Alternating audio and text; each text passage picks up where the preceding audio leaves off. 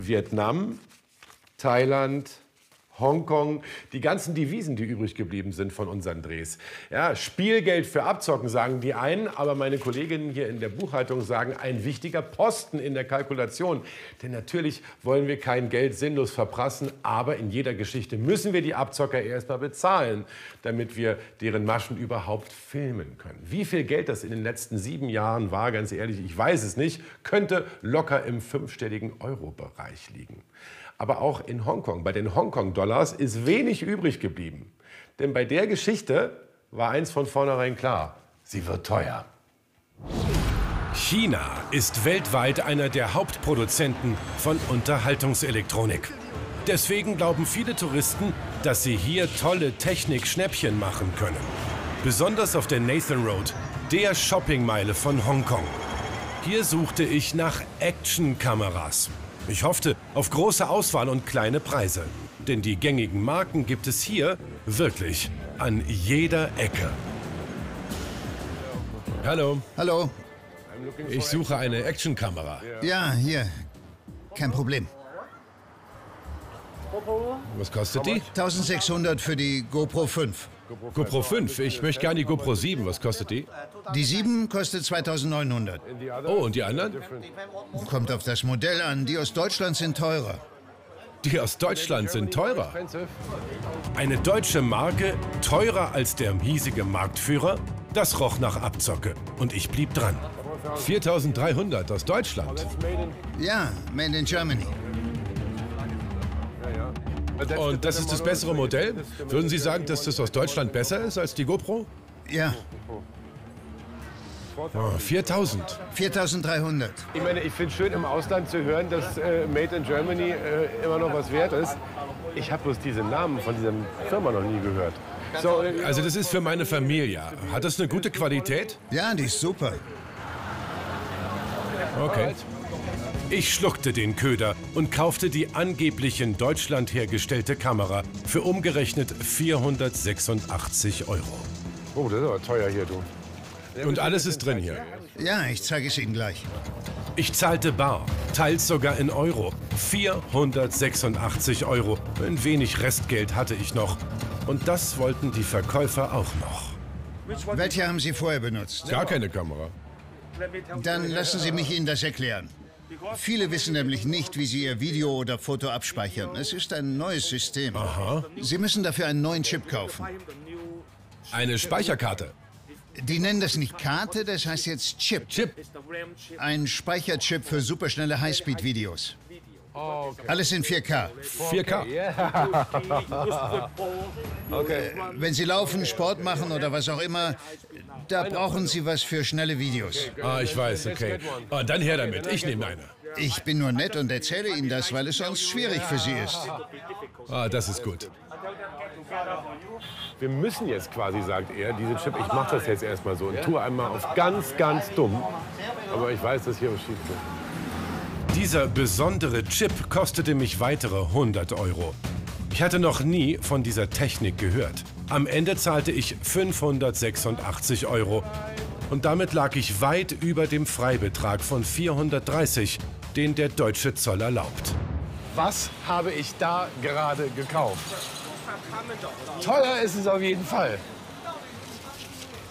Aber das sieht mir schon sehr schrottig aus. Wie schrottig, das ahnte ich noch nicht. Im Hotel schaute ich mir die Einkäufe in Ruhe an. Googelte den Hersteller der Kamera. Eine Firma namens Vimix.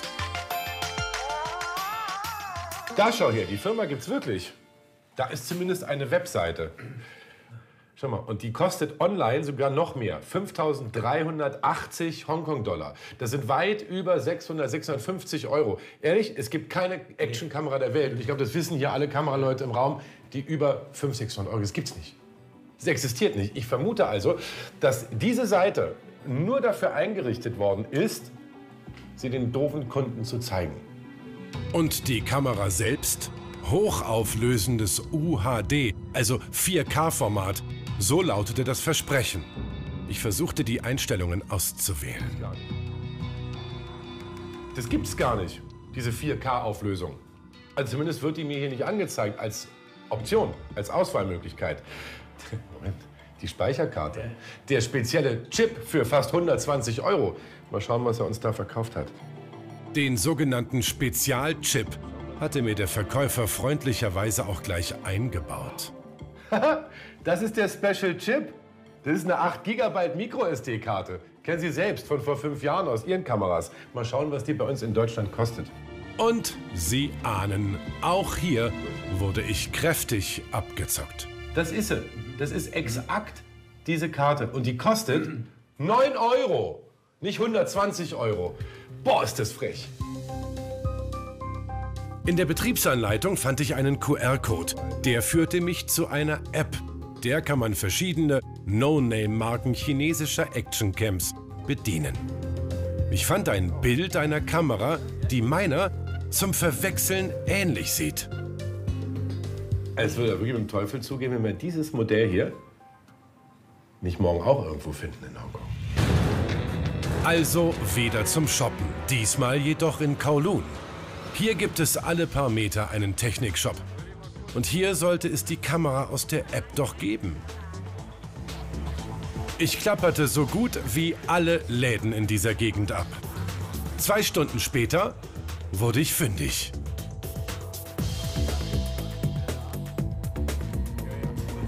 Okay. Äh, die Marke heißt Eken. Ja, Äh, ich bin ein bisschen skeptisch wegen des Preises. Kann ich Ihnen kurz was zeigen? Ich präsentierte dem Verkäufer meine 486 Euro Kamera. Äh, Wir haben hier zwei sehr ähnliche Modelle. nein, nicht ähnlich. Dieselben. Genau gleich. Die Firma hat ursprünglich diese hier gemacht. Sie haben nur den Namen der Marke geändert und verkaufen sie unter einem anderen Namen. Äh, Das muss also ein Modell für 600 Dollar sein. US-Dollar? Viele Unternehmen kaufen Kameras dieser Art ab Werk, kleben dann ihren eigenen Namen drauf. Aber was kostet diese hier? Wie viel? 48. 48. Ja. Wir verkaufen die für 48 US-Dollar. Wissen Sie, wie viel ich dafür bezahlt habe? 600 US-Dollar. Laut den beiden hatte ich mir eine 35-Euro-Kamera für über 480 andrehen lassen. Ich habe noch eine SD-Karte gekauft. Wie groß? 8 GB. 8 Gigabyte. Ja, Klasse 4, 8 GB. Warten Sie, wie viel? Wenn er sie da auch abgezockt hat, 20 US-Dollar. Nee, 115 US-Dollar. 115 US-Dollar?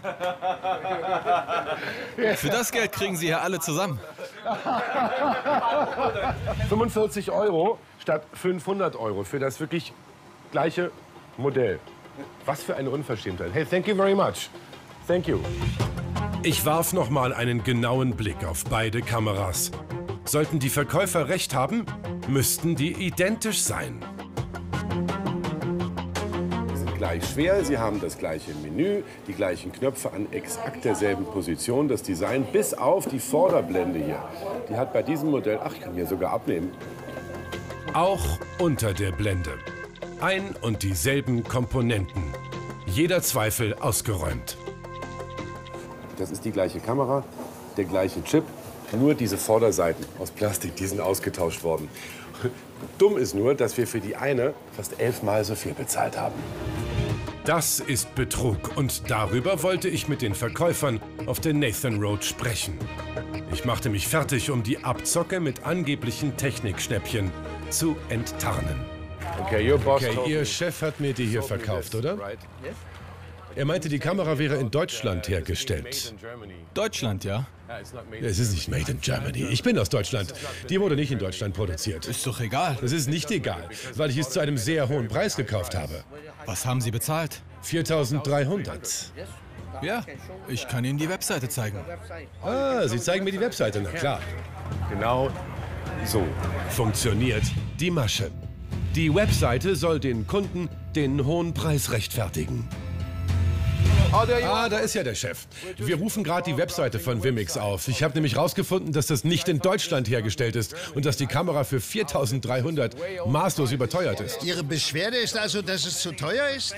Das ist der 20-fache Preis. Beschweren Sie sich über den Preis? Sind Sie der Profi oder ich? Also geht es nur um den Preis, das war's? Das Warum 20-fache. machen Sie dann hier so einen Aufriss, wenn es nur um den Preis geht, sonst nichts? Weil Sie mich angelogen haben, als Sie sagten, ich bräuchte... Wenn es nur um den Preis geht, habe ich nicht gelogen. Lügen. Und ob sie das haben. Er hatte mir weismachen wollen, dass die Kamera nur mit einem speziellen Chip funktioniert. Der entpuppte sich als billige SD-Karte. Ja, ja, freie Marktwirtschaft, aber das ist Touristenabzocke. Wenn Sie eine alte SD-Karte für den zehnfachen Preis verkaufen, ist es kein Markt, sondern Abzocke. Okay, pass auf. Wenn dir die Karte nicht passt, kannst du sie umtauschen. Aber die Kamera kommt vom Großhändler, nicht von mir. Ja, aber ich habe sie doch hier gekauft. Er hat gesagt, die wäre super. Okay, wenn die Karte zu teuer ist, nehme ich sie zurück. Die Kamera gebe ich auch zurück. 4.300 haben sie mir abgenommen und eigentlich kostet die nur 380 Hongkong-Dollar. Aber das ist nicht dasselbe. Die ist anders. Das Geld für die SD-Karte bekamen wir zurück. Rund 100 Euro. Aber die Kamera für 480 Euro blieb mein Eigentum. Das ist ein mega Geschäft, was die hier machen. Er weigert sich, jetzt hier umzutauschen. Ich nehme das jetzt mal so hin. Was mich aber am meisten verärgert hat, ist, dass er mich angelogen hat. Ich mag es nicht, angelogen zu werden. Sie etwa? Hören Sie, es geht eben ums Geschäft. Der Preis ist vielleicht ein bisschen hoch, aber Sie bekommen ja auch eine neue Kamera. Aber 1100 Prozent ist nicht nur ein bisschen. Entschuldigung. Alright. Ist klar. Warnung, Warnung, Warnung. Boah, ich hätte ja ein bisschen mehr schon erwartet, dass er das vielleicht umtauscht, mir Geld zurückgibt, gar nichts. Und deswegen meine ganz klare Warnung. Natürlich kann man hier in dieser Gegend der Welt ähm, elektronische Geräte kaufen. Es ist sogar keine Mehrwertsteuer hier in Hongkong. Könnte man denken, dass es preiswerter ist, aber nicht hier auf der Nathan Road.